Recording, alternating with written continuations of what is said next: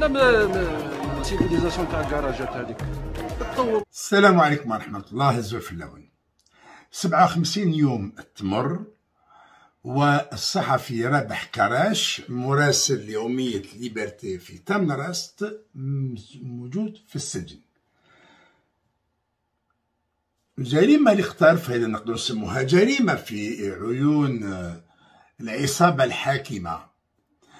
جريمة ما ما توجد حتى نص قانوني يعاقب عليها.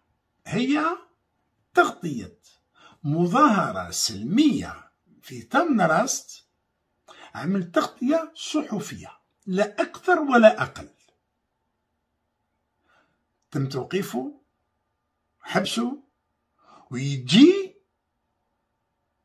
تبون المزور يقول عليه هذا شعل نار سان بيرومان يقولها في أسبوعية فرنسية اللي الصحفيين يجرى معاه الحوار ما تجرؤوش يقولوا وين شعل النار. بروتون صحفيين زميل كيفهم. المفروض يقولوا واش دار؟ فهمنا واش دار بالضبط.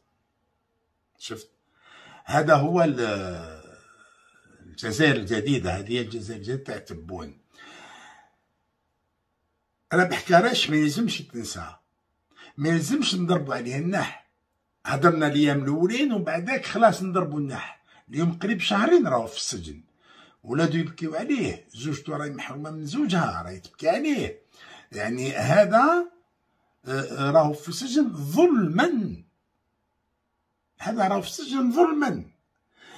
صح إذا كانوا صحاف بودورو ما يضامنوش معاه يبقى على باقي الصحفيين الاحرار انهم يتضامنوا معاه يقوموا بنشاطات اللي تذكر الرأي العام الدولي. اللي تذكر الرأي العام الجزائري بوجود الصحفي في السجن بتهمة ممارسة مهنته الصحفية بكل أخ... باحترام أخلاقية المهنة وبكل موضوعية. العصابة اليوم ما تقبل حتى صحفي يقول كلمة حق. ولات مع الصحافة الدولية تتضارب وتتدابز وتنحي هذا الاعتماد وترد هذا الاعتماد وتمد هذا وتمد هذاك. وتبون يعلن في حوار صحفي إنه يعطي الاعتماد لقناة الجزيرة وهذا عيب تعمل هذا الشيء هذا. وفي نفس القناة يقول باللي لو موند عضت له يده ولا لأنه هو اللي عطاها تاكل يعني شو الكلام هذاك هذا رئيس دولة هذا؟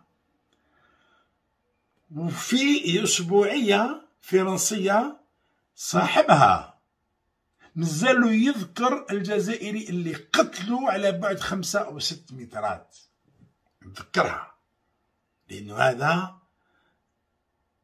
انخرط في الجيش الفرنسي باش يحارب الجزائريين. أثناء حرب التحرير وعنده جريدة ويجي يتبون يعمل فيها تصريح ويقول أنه الصحفي رابح كراش يشعل النيران لك الوطنية ربي يقدر الخير لبلادنا. ربي يبعد عليها ولاد الحرام. السلام عليكم ورحمة الله.